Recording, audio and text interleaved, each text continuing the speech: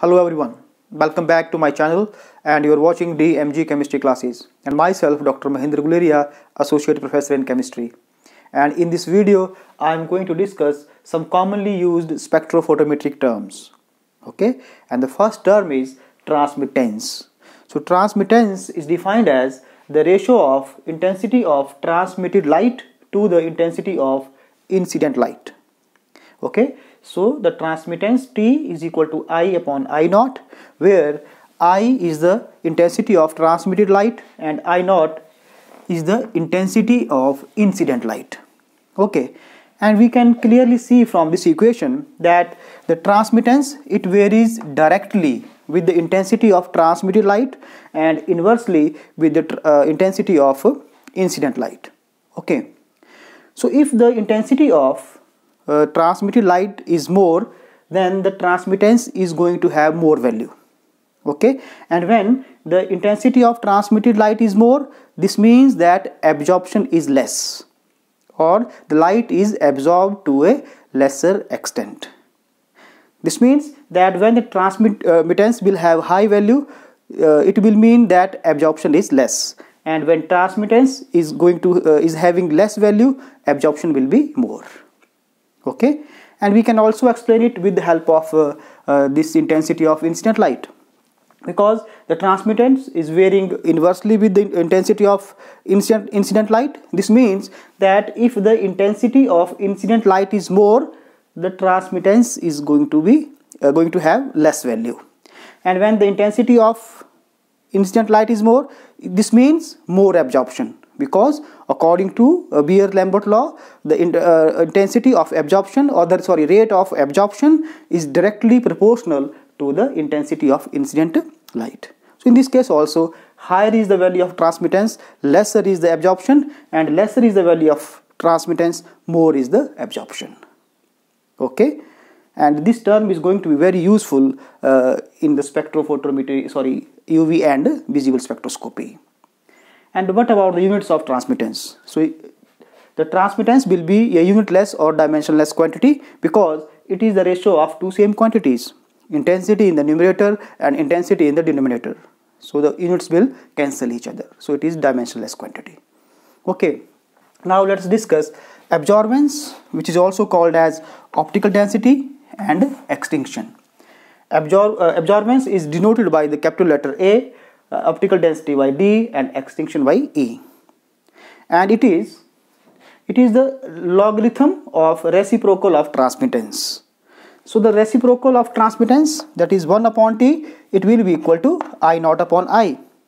And the absorbance or the optical density or the extinction it will be equal to log of i naught upon i. So as we see here that this absorbance is the log of reciprocal of 1 upon uh, sorry reciprocal of the transmittance. So in this case every in this case everything will be reversed. If the absorbance is having more value this means more absorption. That is radiations are absorbed to a greater extent.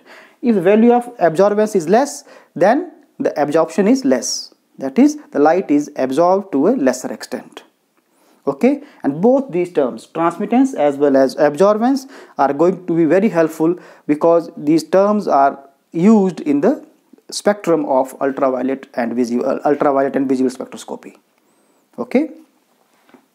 So now we are going to discuss another very important term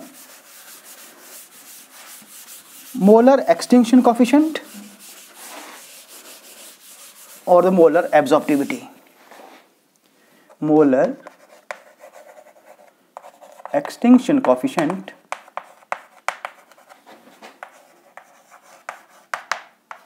or molar absorptivity.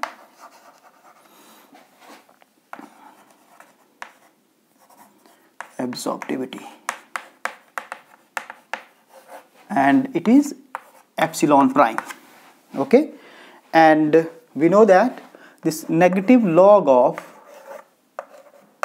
i upon i naught it is equal to epsilon prime cl and I have derived this expression for the Beer's law. And in this case I have denoted the length of the solution or the thickness of the solution by small l.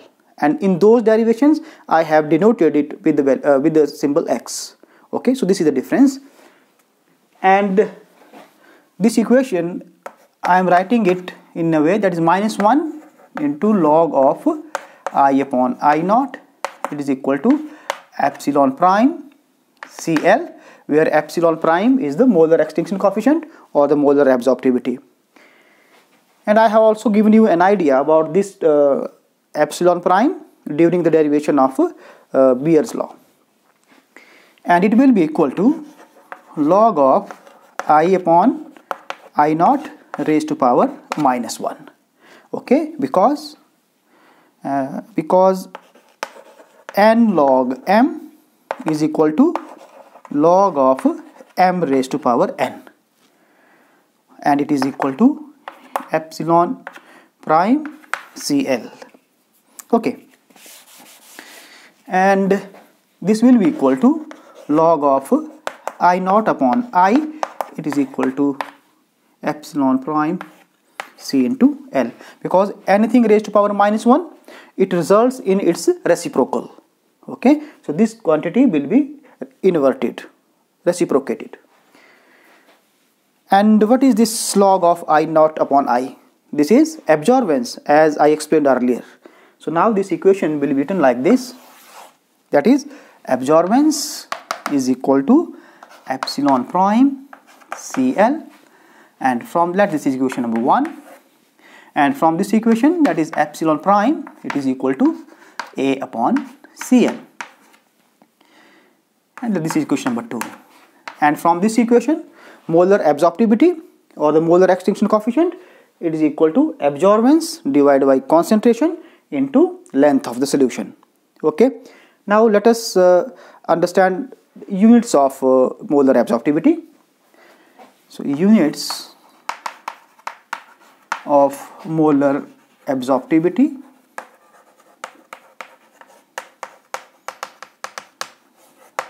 Will be equal to this absorbance is a unitless quantity because it is log of I naught upon I. And again here we have the ratio of same quantities intensity here and intensity here. So this is unitless quantity. So its unit will depend upon the concentration. Yeah, that is units of concentration and the units of length so unit 1 upon and concentration is expressed in terms of moles per liter and the length of solution is in centimeters. So the, so the units will be liter mole inverse centimeter. Okay? So these are the these are the units of molar absorptivity or molar extinction coefficient.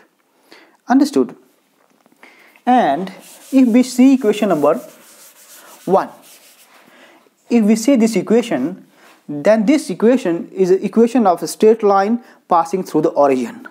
Okay? So I am writing this equation again here. A is equal to epsilon prime into CL. And let us uh, compare this equation with the equation of straight line. Y is equal to mx plus c. Okay and uh, let us write this equation in a way that is a a is equal to epsilon prime into L into C. Okay. Now let us compare this equation with this equation of straight line. Then what we have? Then we have uh, we will have along y-axis absorbance along x-axis we will have concentration okay?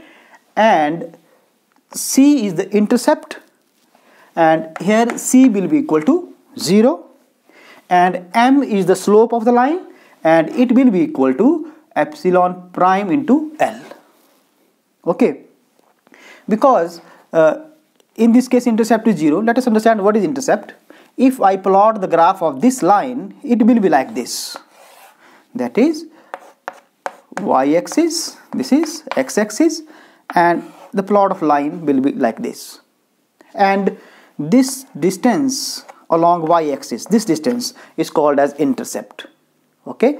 And if the intercept is equal to 0 then the line will pass through the origin because when the line passes through the origin intercept is equal to 0 okay so that uh, uh, this means that when I will plot absorbance with the concentration I will obtain a straight line having slope epsilon prime L and that line will pass through the origin. And how this graph will be plotted? I will have absorbance A along the y-axis concentration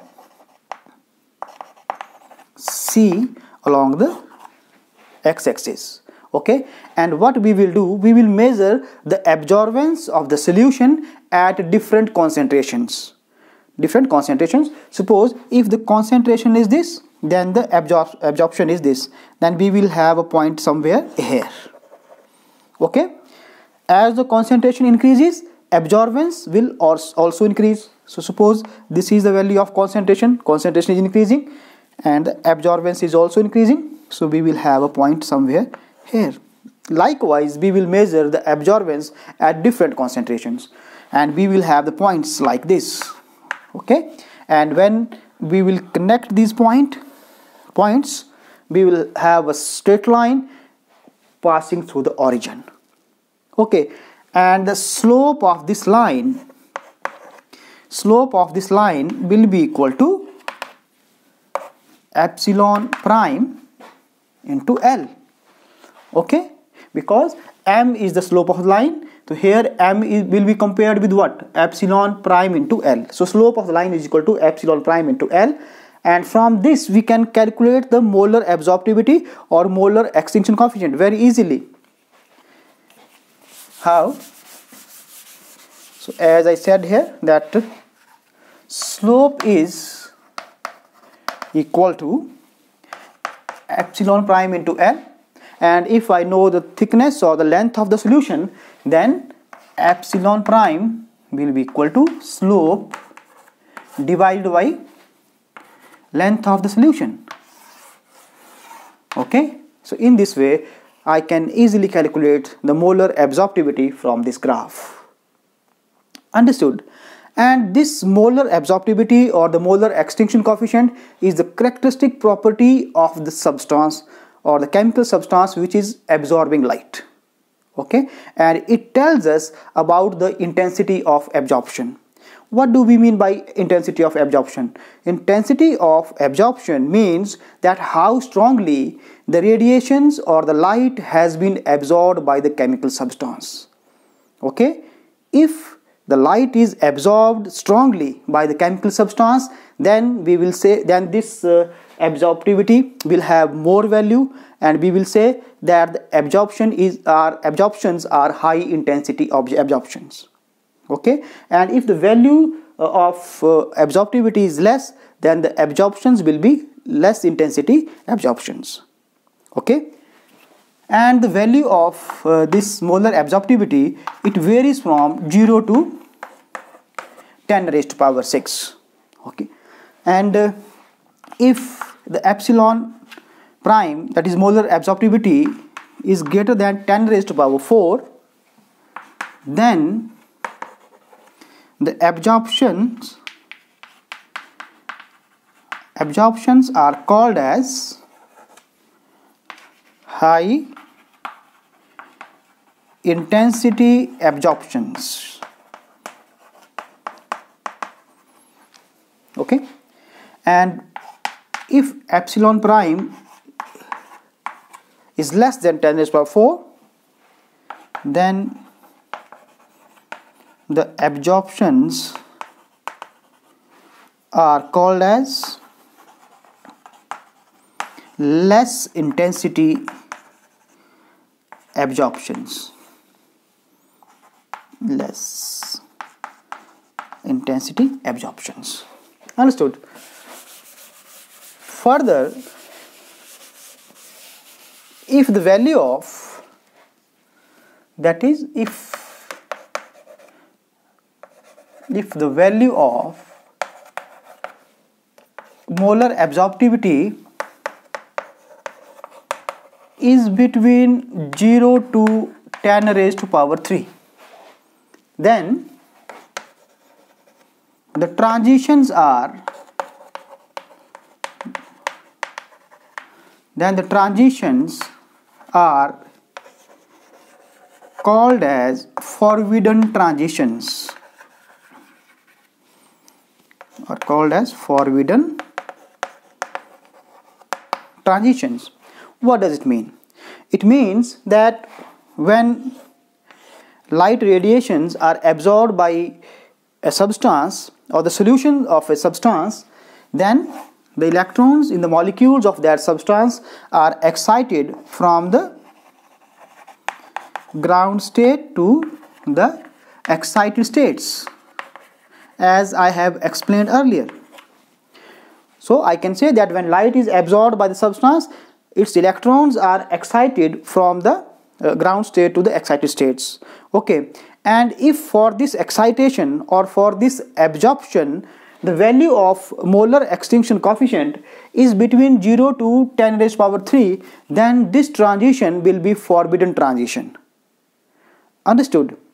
So we can say that the value of this molar absorptivity also depends upon the transition probability that whether that transition is allowed or the forbidden and I will explain it in detail when I will uh, discuss uh, transition probability in my coming videos. Okay? So keep watching my videos.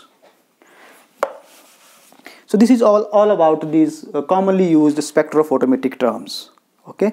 And in my next video i'm going to discuss the instrumentation of ultraviolet and visible spectroscopy. And i will also discuss that how do we record ultraviolet or visible spectrum so keep watching my videos like and share my videos and subscribe my channel. Thank you very much